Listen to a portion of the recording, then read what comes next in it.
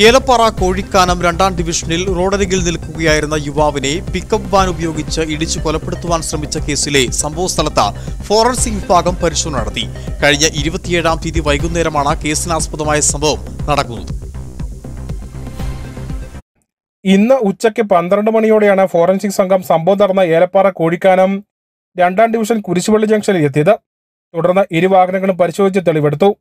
കഴിഞ്ഞ ഇരുപത്തിയേഴിന് വൈകിട്ടാണ് കേസിന് ആസ്പദമായ സംഭവം നടന്നത്. ഏലപ്പാറ കോഴിക്കാനം കിഴക്കേപ്പുതുവിൽ താമസിക്കുന്ന അഗാർ ഭവൻ വീട്ടിൽ പ്രിൻസിനെ ഇദ്ദേഹത്തിന്റെ തൊഴിലാളിയായിരുന്ന കോഴിക്കാനം രണ്ടാം ഡിവിഷൻ എസ്റ്റേറ്റിൽ താമസിക്കുന്ന രാജൻ പിക്കപ്പ് വാഹനം ഉപയോഗിച്ച് ഇടിച്ചു തെറിപ്പിച്ച് കൊല്ലാൻ ശ്രമിക്കുകയായിരുന്നു. ഇടിയുടെ ആഘാതത്തിൽ പ്രിൻസ് റോഡിൽ നിന്ന് പന്ത്രണ്ടടി താഴ്ചയിലേക്ക് തെറിച്ചു വീഴുകയും ചെയ്തു. അപകടത്തിൽ പ്രിൻസിനെ ഗുരുതര പരിക്കുകളോടെ കാഞ്ഞിരപ്പള്ളിയിലെ സ്വകാര്യ ആശുപത്രി പ്രവേശിപ്പിച്ചിരുന്നു. പ്രിൻസ് അപകടനില തരണം ചെയ്തു. കേസിലെ പ്രതി രാജനെ പീരിമേട് പോലീസ് അറസ്റ്റ് ചെയ്ത് റിമാൻഡ് ചെയ്തു. ഫോറൻസിക് വിഭാഗത്തിനൊപ്പം പീരിമേട് പോലീസ് ഉദ്യോഗസ്ഥരും ഉണ്ടായിരുന്നു. Idukki vision news Peermade. സംഘടിപ്പിക്കുന്ന ജനകീയ നിയമസഭ രണ്ടായിരത്തി ഇരുപത്തി മൂന്നിൽ നിങ്ങൾക്കും അഭിപ്രായം രേഖപ്പെടുത്താം.